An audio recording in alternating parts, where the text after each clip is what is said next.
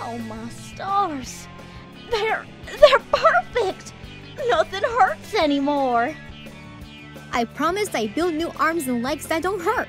So I did. Happy birthday, big sis.